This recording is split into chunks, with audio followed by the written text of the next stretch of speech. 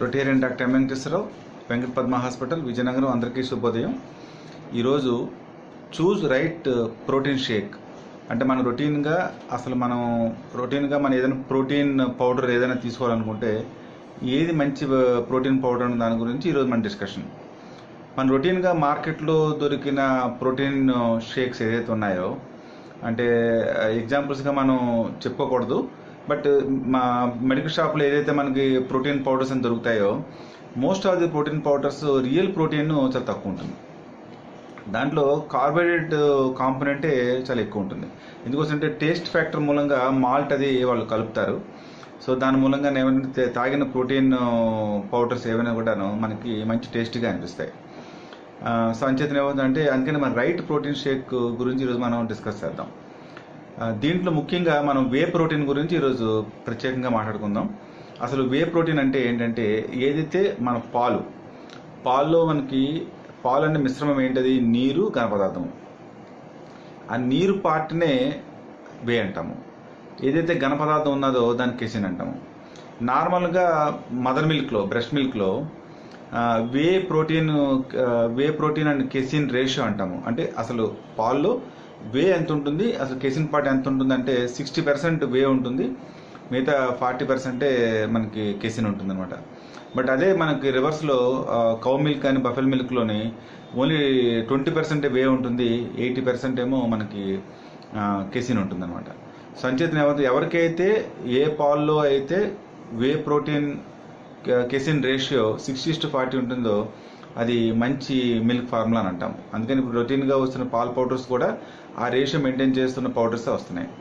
So మనం ముఖ్యంగా మనం ఇప్పుడు వే కేసిన్ వే ప్రోటీన్ గురించి మాట్లాడుకుంటే క్వాలిటీ వే ప్రోటీన్ అంటే ఎలా అంటారంటే ఒక థర్టీ గ్రామ్స్ ఆఫ్ స్కూప్ మనం తీసుకుంటే దాంట్లో twenty seven grams of protein ఉండి జీరో టు త్రీ కార్బోహైడ్రేట్ కానీ జీరో టు త్రీ ఫ్యాట్ కానీ ఉండొచ్చు. ఏ వే వే ప్రోటీన్ ఫార్ములాలో అయితే కొంచెం కార్బోహైడ్రేట్ కొంచెం ఫ్యాట్ యాడ్ అవుతుందో అవి కొంచెం టేస్టీగా ఉంటాయి.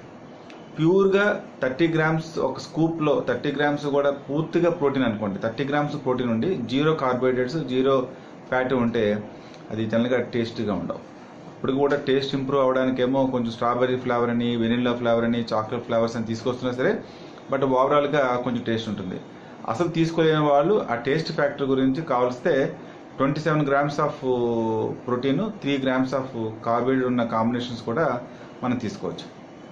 దీని మీద కూడా కొంతమంది కొన్ని అపోహలు ఉన్నాయి. చాలామందికి ఏంటంటే అసలు అసలు వే ప్రోటీన్ కంపల్సరీగా తీసుకోవాలా? అంటే జనరల్గా ఎవరైతే రెగ్యులర్గా ఎక్సర్సైజ్ చేస్తారో వర్కౌట్ చేస్తారో స్ట్రెంత్ ట్రైనింగ్ చేస్తారో బాడీ బిల్డింగ్ చేస్తారో వాళ్ళకి క్వాలిటీ ప్రోటీన్స్ అవసరం. ఎందుకంటే ఈజీగా డైజెస్టబిలిటీ అవ్వాలి ఈజీగా ఎసిమిలేట్ అవ్వాలి. వెంటనే దాంట్లోనే బ్రాంచ్ అయిన ఎమ్యూనాసిడ్స్ ఏదైతే క్వాలిటీ ఎమ్యూనాసిడ్స్ ఉంటాయో అది వెంటనే మజిల్ రిపేర్కి ఇమీడియట్గా రావాలి. మీ ముందు చెప్పాను కిచిన్ అన్నది అది స్లో ప్రోటీన్. వే అన్నది ఫాస్ట్ ప్రోటీన్. అంటే ఇమీడియట్గా రిపేర్ గురించి మన బాడీ మజిల్ అందుకనే వీళ్ళకి బాడీ బిల్డర్స్కి కావాలి.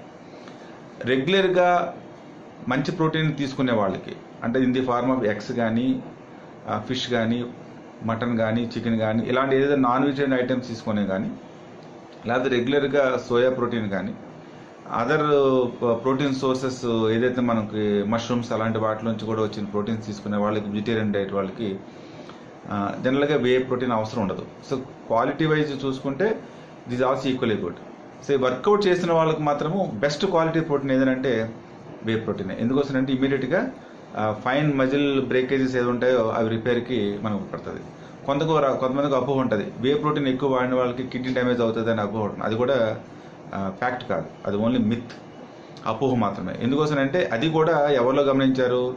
ఎవరైతే కొంతమంది స్టెరాయిడ్స్ కానీ కొంతమంది ఎనబాలిక్ హార్మోన్స్ కానీ ఏవైనా తీసుకొని లేకపోతే ఉత్ప్రేరకాలు ఏదైనా వాడిన వాళ్ళకి వాళ్ళు వే ప్రోటీన్ తీసుకోగలిగి ఎథిలెట్స్ ఎవరైనా తీసుకుంటే వాళ్ళకి కిడ్నీ డ్యామేజ్ అవడానికి అవకాశం ఉంటుంది. ఈ ఇన్సిడెంట్స్ కూడా వే ప్రోటీన్ తీసుకున్న వాళ్ళు ఆ డోప్లో ఎవరైతే భయపడ బయటపడ్డారో వాళ్ళు ఆ కిడ్నీ డ్యామేజ్ అన్నది గమనించ జరిగింది. ఎంత తీసుకోవాలి. ఐడియల్గా ఏంటంటే మనకి రోజుకి మన రిక్వైర్మెంట్ ప్రోటీన్ మీకు చెప్పాను. ఒక గ్రామ్ పర్ కేజీ బాడీ మన ఫిఫ్టీ కేజీస్ బాడీ ఉన్నవాడికి ఫిఫ్టీ గ్రామ్స్ ప్రోటీన్ అవసరం పడుతుంది. ఒక స్కూప్ అంటే థర్టీ గ్రామ్స్ అని చెప్పాను. సో అలాంటి వాళ్ళు మిగతా ప్రోటీన్ సోర్స్ నుంచి మనకి రావాల్సి వస్తుంది.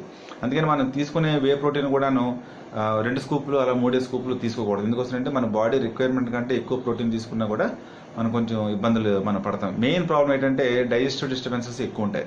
కొంతమందికి వే ప్రోటీన్ తీసుకోవడం వల్ల సైడ్ ఎఫెక్ట్స్ ఏమైనా ఉన్నాయంటే నాసియా వామిటింగ్ కొంతమంది లూజ్ మోషన్స్ ఇలా రావడానికి అవకాశం ఉంటుంది.